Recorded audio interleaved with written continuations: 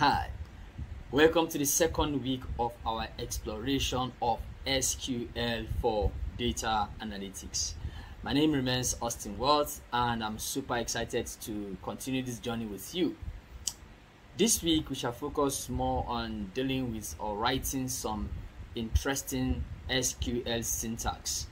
We'll begin by understanding the database we'll be working with throughout this course you know for our practice and our learning okay we'll be working with the chinook database. So in a very short time from now i would explain or describe the chinook database as presented in the classroom.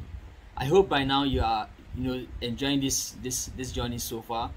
I believe by now you now understand the basic meaning of sql you know how to create a database and you've learned how to import data into the created database.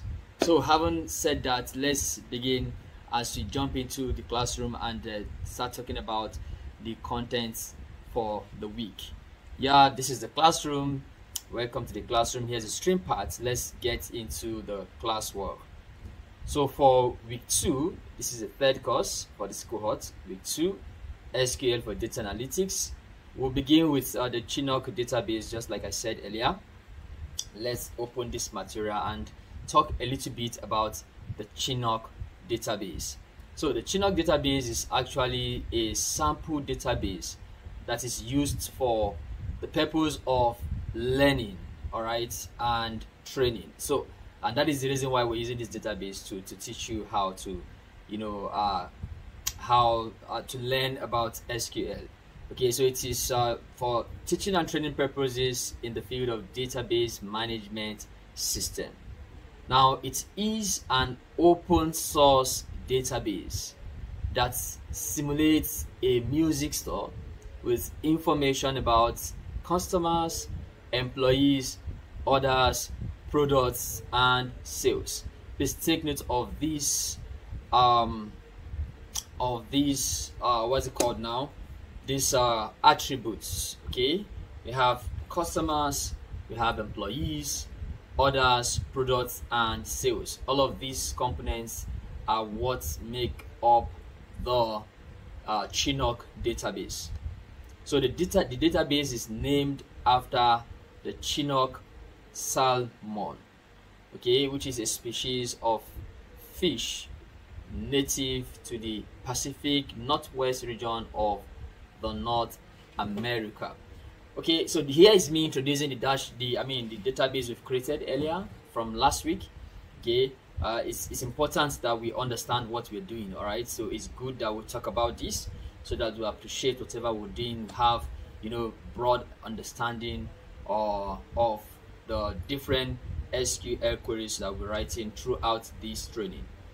So the Chinook database is important for training purposes. Please take note because it provides a realistic and practical example of a database that can be used to teach students and professionals how to design, create, manage a and manage a relational database. It allows us, uh, it allows individuals to practice querying, uh, to practice querying and data manipulation using the structured query language, which is fundamental skill for anyone working with databases. So since you're going to be working with databases, and uh, we know that as a data analyst, you need to query databases, you need to understand the syntax, you need to know how to create database, you need to know how to update a database, and that is why we're bringing these, or that's why we're using this important or interesting database to teach you how to query and work with databases.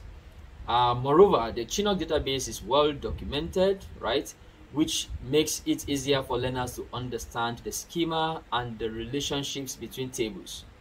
Additionally, it is available in various formats, including SQLite. The Chinook database is available in SQLite format, MySQL format, SQL Server, PostgreSQL, and Oracle, which means that learners can use it with a wide range of database management systems. So here in this training, instead of getting the MySQL version of the Chinook database, I have given you or give you the, the, the process or the procedures to creating this database from scratch. So in uh, the first week, we've been able to create the database both on a server and creating it in a local instance.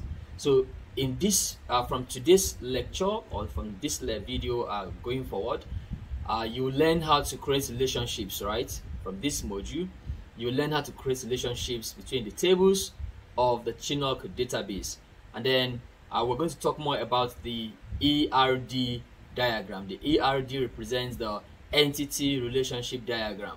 Now, because by the time we get to uh, the point where we have to query this database, you have to understand the, the ERD, I mean the ERD, uh, I mean the entity relationship diagram for, for, for easy and uh, swift querying of the database. So having said that, uh, let's quickly look at the ERD. So this is a Chinook database ERD diagram. Uh, so it has these uh, 11 tables, okay? Uh, the media types, the genres, the playlists, playlist track, tracks, and so on and so forth. And you can see the connections here, the relationships created that is formed uh, between these tables, okay? But the one we've created in MySQL workbench, here is the entity relationship diagram that is yet to be connected. Because we've not created the relationships we will have to create the relationships in this particular module. But once you upload the tables uh, into the database you've created this is exactly how your ERD diagram would look like. So after creating relationships we'll see the different look it will have. But for now I expect you all to have this at this stage okay? I'll show you how to get here in the next video. All right thank you once more for choosing Datafied Academy. I hope you're enjoying your training experience so far.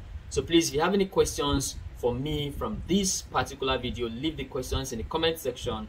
Like this video share it with your uh, you know with your friends and let them know about Datafied Academy. Thank you very much once more choosing Datafied Academy and see you again in the next video as we continue our journey uh, through this uh, until, until we con uh, as we continue our SQL journey. All right, thank you. Goodbye. It's not easy to actually make content.